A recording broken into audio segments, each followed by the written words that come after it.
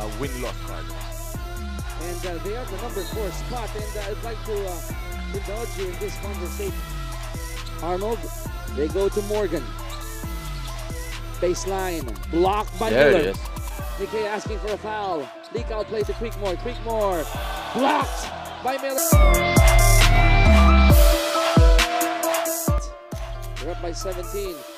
Creekmore blocked by Miller. Taking them from the number four spot, which was occupied or with bank shot.